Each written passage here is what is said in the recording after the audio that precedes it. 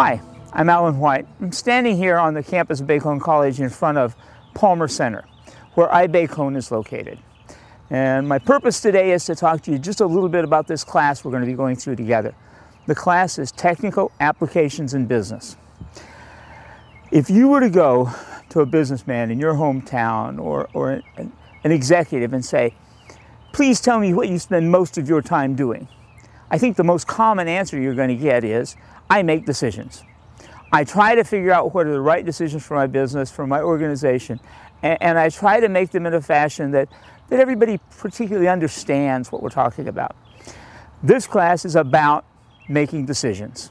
How do you get information? How do you organize information? And how do you put it in a place where you can justify the decisions you're making?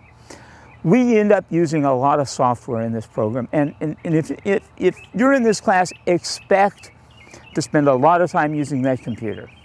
We're going to give you software,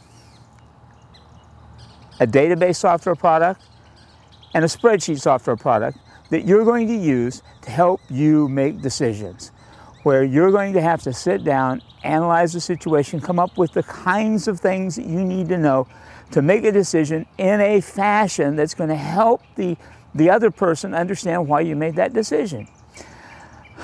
Now, I'm not, I'm not going to tell you that this is an easy class. It isn't. It's, it's, it's going to take some time. It's going to take some work.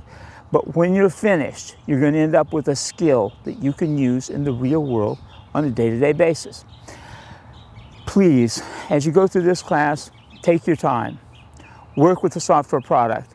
Be comfortable with it. If you have questions on the software product, you know where I'm at. Give us a call.